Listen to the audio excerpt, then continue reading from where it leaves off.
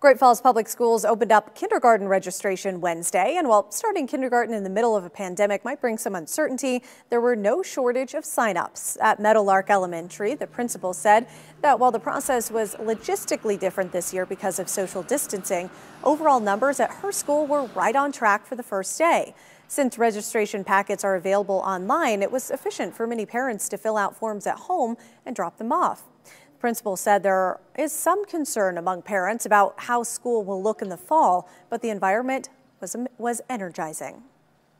Parents have definitely mentioned that and, you know, just kind of throughout their questions of wondering what it's going to look like in the fall. But mostly today, it was just enthusiasm and excitement, and um, still looking forward to everything being as normal as we can be. Um, but knowing that they trust us in that um, if we need to put some things in place in the fall, that will um, make things a little bit more safe for the kids and for the staff. That will definitely do that. So, but they were still excited.